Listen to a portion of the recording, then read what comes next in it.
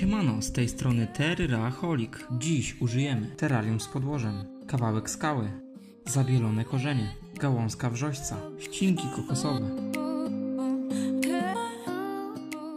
W tym terrarium zamieszka gatunek Monocentropus balfouri, młoda samica.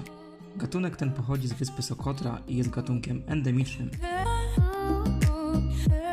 Wśród mieszkańców tej wyspy krąży opinia, że ukąszenie tego ptasznika może zabić wielbłąda.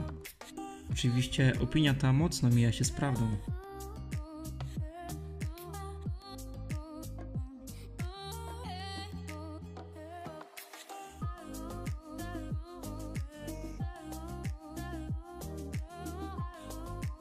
Gatunek ten nie potrzebuje wysokiej wilgotności, a temperatura to około 28 stopni Celsjusza z nocnymi spadkami do około 22-23 stopni.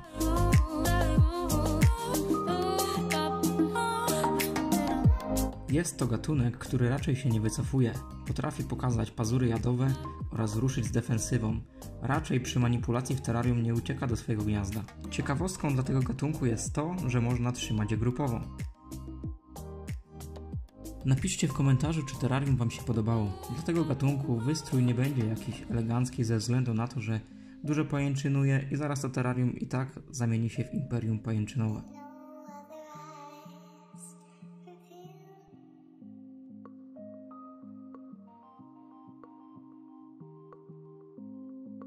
A teraz bonus. Unpacking paczki od Warsaw Spiders.